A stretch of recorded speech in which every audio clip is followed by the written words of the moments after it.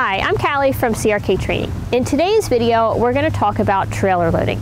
So trailer loading is a big topic for a lot of horse people, and it's something that many of us have probably been frustrated with or been challenged by at some point in our handling of horses. Trailer loading is tough because I believe that it is inherently a bad experience for the horse. So when we are talking about loading a horse on a trailer, we're essentially doing two things. First, we have to desensitize them to the idea of going into the trailer and standing in an enclosed space like that. And then we have to desensitize them to standing there as it's moving and it's as it's going down the road. So we've got to get them desensitized, but in the process, we also have to teach them our cues and what we expect for them to walk on the trailer, stand there, wait for the, you know, the back bar to be closed, and then stand there quietly. And again, when we're taking them back off, the cues for standing and waiting as we're as we untie them, as we lower any bars, and then asking them to back off. So there's a lot of things that we have to teach them as we're just getting them used to the whole idea. But the challenge with trailer loading is, like I mentioned, we spend all this time desensitizing the horse and hopefully getting them comfortable with going on the trailer, standing there, but as soon as we start actually taking them someplace, it's stressful and we can try to reduce that stress by maybe trailering them with companions, providing them with food and spending lots of time getting them used to it. But there's so many things that can happen on the road that can basically resensitize the horse to being on the trailer or just scare him about the trailer. So there's loud things, there's trucks, uh, there's motorcycles, there's sirens, the, you know, we might hit the brakes hard and throw the horse off his balance. Anything like this is going to make the trailering experience more stressful. And I think this is why it's so common that we can have horses that maybe we're loading great, but then we take them someplace, they have a bad experience, maybe we don't even know what it was, but something happened that scared them and they don't want to go back on the trailer, and then we have to kind of start at the bottom and build it back up with those better experiences. Now, I think that the best way of approaching trailer loading is doing it slowly and often. So the more that we can expose the horse to the trailer, the more that we can put him on the trailer without going anywhere. So making it a better experience by just going on and perhaps feeding him on the trailer or letting him rest there. Then we can start to increase the likelihood that he's going to keep loading for us consistently because he's had more good experiences than bad. Now there's lots of different little issues that can come up when we're working with different horses in the trailer. What I'm going to do today is just spend a few minutes working with one of the horses that we have here at the farm that tends to be a little bit tough to load and I'm just going to talk through the strategies and the things that I do with him. Now before I bring him up, I want to talk a little bit about safety in the trailer. So whenever we're putting horses on the trailer, no matter what type of trailer we have, we've got to really think about safety for the horse and for us. If you have a horse that is difficult to load and you plan on actually putting him in and enclosing him in the trailer, most of the times trailers are set up that that's going to be a much easier and safer process with two people. Now, if you're just putting your horse on and off to get him used to the process, you can probably do this pretty easily by yourself. When you are closing the horse on the trailer. So whether you are closing um, like the butt bar on the back of a lot of trailers or in the type of trailer that I have here, which is a stock type, all we have is this door that swings open and shut. When you close it, um, I personally like to close anything so that it's secure.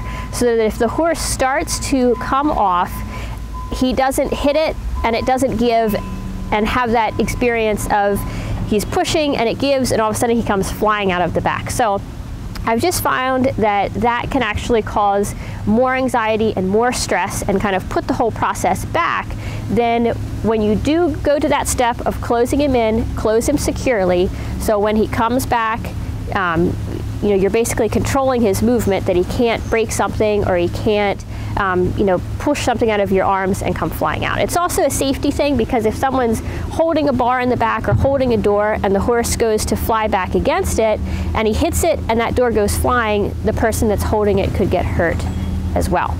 Another thing is I don't like to tie horses in a trailer preferably until they're closed in, especially if you're tying them with their hind end facing out the back of the trailer where they can start to back up.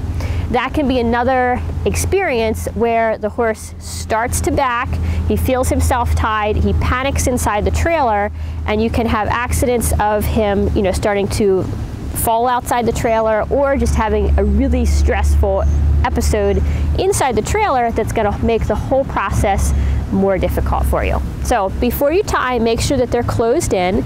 And if you're doing this in a case where you've got to send the horse in, then it's better to take the time and work with that, train them to send in. Um, so that you can send them in, have them stay there, close them, and then tie. In my experience, I've just found that that's the safest way to do it. So what we're gonna do next is go down, get Bandit. We're gonna bring him back up here to the trailer, and then we'll just work through some of the loading issues with him. So we're here now with Bandit, and I'll explain a little bit first what he is wearing, because um, this isn't necessarily conventional trailer loading equipment, but I have a reason that I've decided to use this on him, and I've been using it pretty successfully. So all this is, is a cavesson over his halter. And the reason I have this cavesson on is he learned somewhere along the line that he could um, rip his head away and then just take off from the trailer. And with the halter, um, I'm not physically strong enough to stop him from doing that. So he learned that was a very effective technique for just removing himself from the whole situation whenever he decided that, that he'd had enough. So what I did is I put this cavesson on because it gives me more control of his head so that specifically when I'm asking him to go on the trailer, I can keep his head straight and he's not able to, to take it away like that. The reason that I chose to use a cavesson over something else, say a chain, is that the cavesson has a very direct pressure release. So if I'm not pulling on it, there's no pressure on it. One thing that I've noticed can happen with chains is that um, is that the chain can tighten on their nose and then it doesn't release very well. So that's why I'm using the cavesson instead of something like a chain. Now I have it over his halter because obviously I don't want to tie with the cavesson. So if I'm putting him on the trailer and I'm planning on tying him, his halter's right here so that I can change my lead rope and I'm able to just tie him and take the cavesson right off. Now, what I'm starting with here is actually what I've been doing with him for a few minutes before we turn the camera back on. And I'm just working on having him just respond to basic requests here on the ground in front of the trailer. So he's like a lot of horses that have some trailering issues in that he starts to get uh, varying levels of anxiety as soon as he even sees a trailer. Ooh. So I like to first start with working him around the trailer and not immediately asking him to go on until I feel that one, his anxiety level is starting to come down, and two, that he's responding consistently enough that I feel I'm going to have some degree of success when I go to actually load him. And this has to do with the idea of thresholds which we discussed in one of the articles, and that is the idea that we want to, when we're working on something that we're desensitizing or we're working on a fear issue, we want to stay under threshold where the horse is still able to um, bring their focus back to us as the rider or handler and not be completely focused on whatever the distraction is, such as the trailer. Now, unfortunately, just because of some space issues at the farm right now, we're kind of in a high distraction zone anyway. So we are right by a road and there's some other things that are distracting him. Good boy.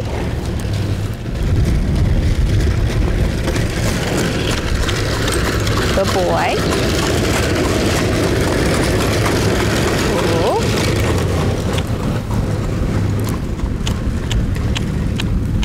Good boy. Good. But as we're working here, he's starting to get lighter. He's still responding to my cues. And he's also starting to stand a little bit more consistently, which for him is a sign that I know he's starting to calm down a little bit when he can start to stand, even if we've still got some distraction. So we're going to um, go to the trailer now, and when I go to the trailer, I use a combination of negative reinforcement, so a tapping cue and a pressure cue forward with the rope to ask him to go on.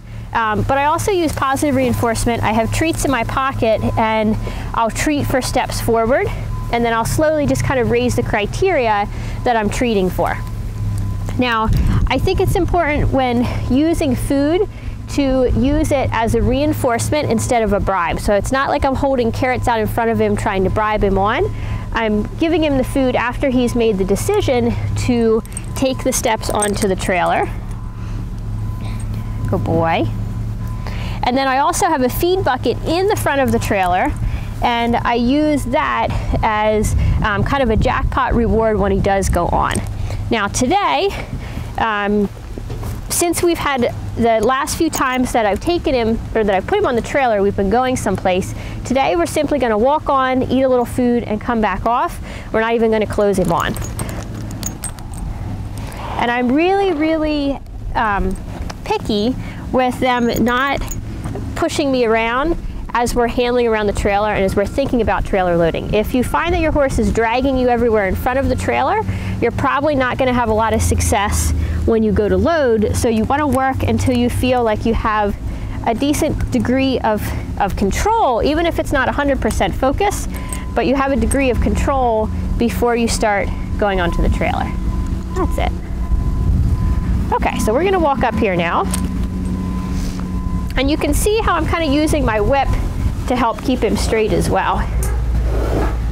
Good boy. Now once we come here, there. So you're gonna hear me clicking. I clicked there and I don't think he even, even caught it, so I'm not gonna reinforce. So that was just the trying the old behavior of ripping his head away.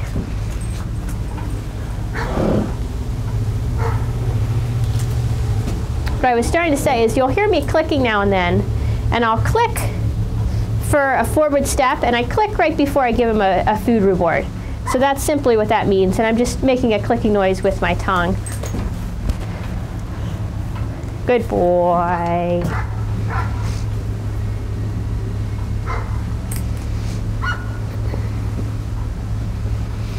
Good boy.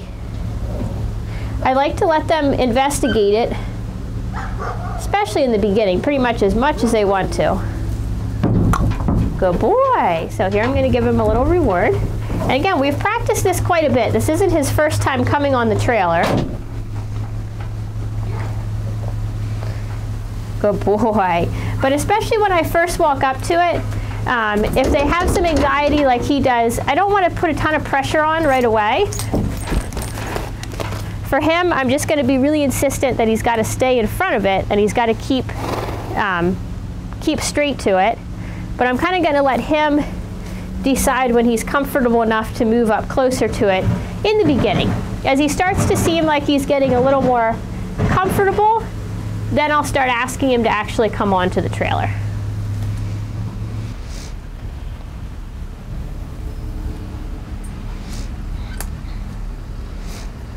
So now I'm just going to add a little pressure cue forward with the lead rope.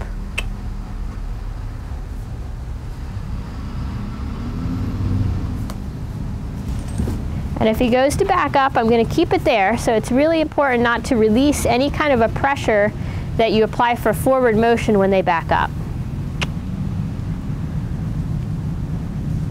And here I'm going to bring my whip up. And I tend to tap far back as I can, but like I'll tap here on the shoulder. Good boy. And you can really tap anywhere and train them to go forward from a tap anywhere as long as you release on a forward step.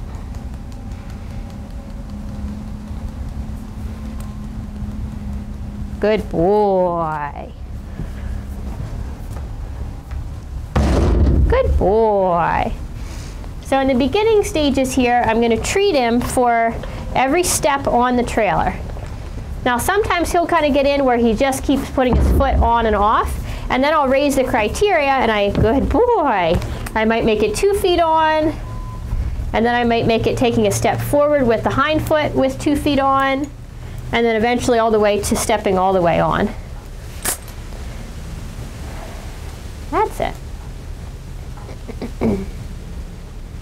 I think an important thing to remember is that the pressures that you use as you're asking for forward, good boy, good boy.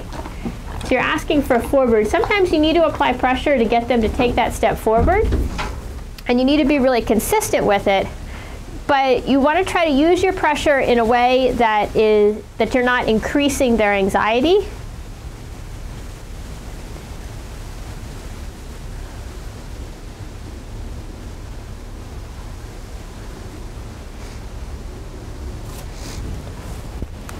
Good boy.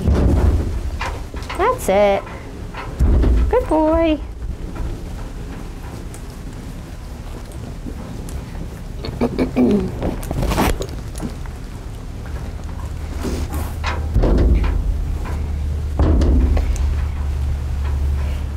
And if you've noticed a few times, like earlier, he was kind of chewing on his lead rope, and there where he gave me that little nudge, for him, um, those are behaviors of, of anxiety. So it's not him, you know, trying to necessarily be a jerk or be dominant or anything like that. It's just he's anxious and he kind of does those, I've heard them before called, um, called fooling around behaviors.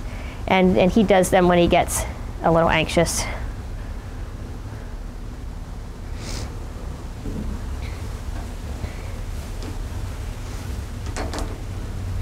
So here I'm going to tap again. Good boy.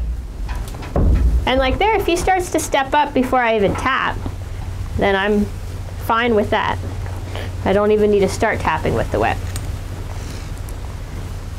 Now again here, if he backs up, good boy.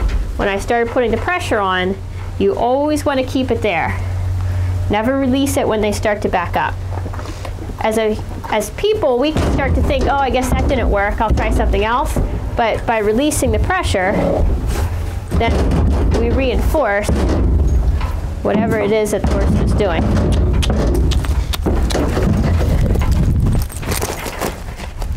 And those are the kind of behaviors that they can learn. And that's why sometimes it's necessary, I feel, to use equipment that gives us the control that that they don't get reinforced because you can see that can be a pretty dangerous behavior. Good boy. If he uh, if he's allowed to do it, and it can be dangerous not just for for a handler, but it can be dangerous for him because if he gets loose and you know right here we're next to a road, he can run out on the road he could step on his lead rope, get tangled in his lead rope.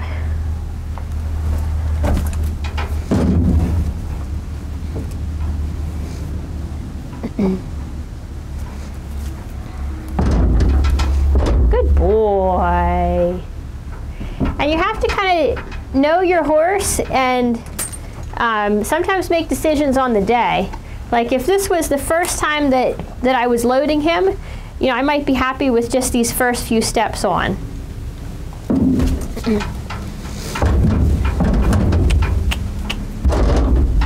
Good boy. Or if he was just so anxious and I couldn't get him to calm down, I might be happy with just feeding him on the edge of the trailer and letting him just get used to it a little bit. Good boy.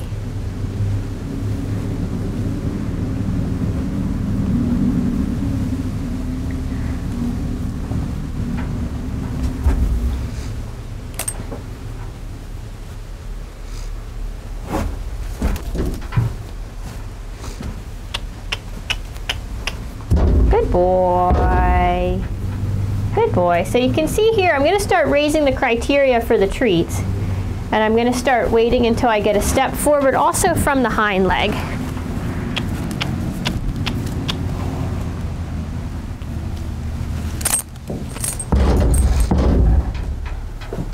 Good boy. Good boy.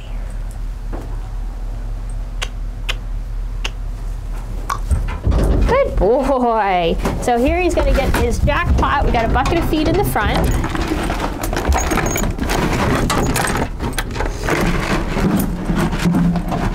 So I'm gonna let him stand here and eat a little bit.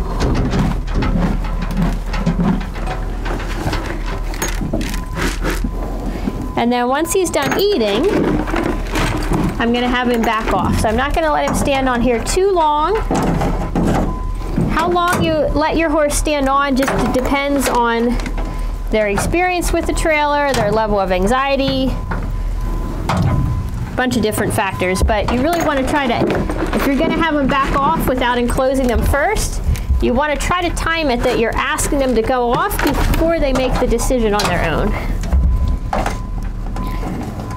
And when you're on a trailer with a horse like this, it's really important to maintain uh, the position of their head. Oh boy, so I can tell he's kind of losing interest in the feed. I'm gonna see if he'll just stand here for another minute.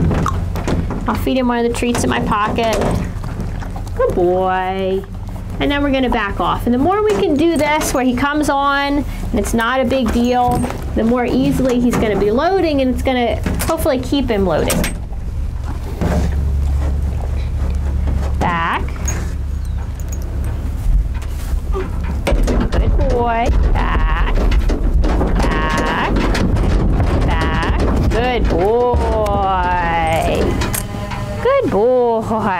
Now for him, I like to keep him standing in front of the trailer for just a moment after he backs off so he doesn't learn to back off and whip around.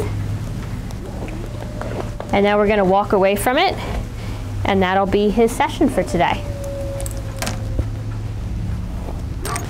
Of course, I realize there can be a whole range of different problems with trailer loading, from horses that don't want to go on like Bandit to horses that won't stand quietly or that rush back off the trailer. But I hope that our discussion and then the little demonstration with Bandit just gives you some ideas of how to think about the trailering process and how to maybe be a little bit creative or kind of break down the problems or the challenges that you might be having with your own horse. So what I would like to do now is kind of bring some community knowledge into this. And in the comments, please put if you're either having a trailering issue now, or especially if you had a trailering issue and you resolved it, what worked for you, how were you able to resolve that problem, and what is kind of the ongoing work that you're doing to keep it from reoccurring. So I'll see you in the comments, and as always, if you're watching this video anywhere besides crktrainingblog.com, go there to leave a comment. That's where the best conversation happens, and I'll see you there.